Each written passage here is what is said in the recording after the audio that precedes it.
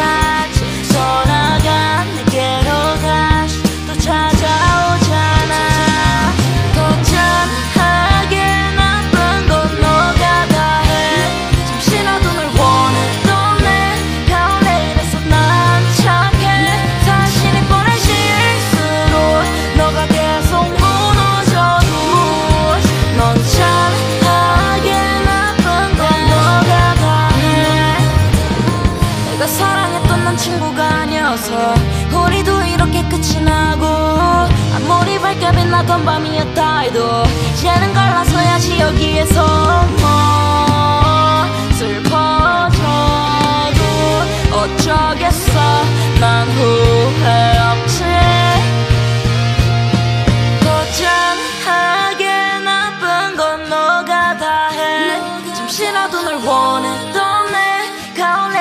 난 착해.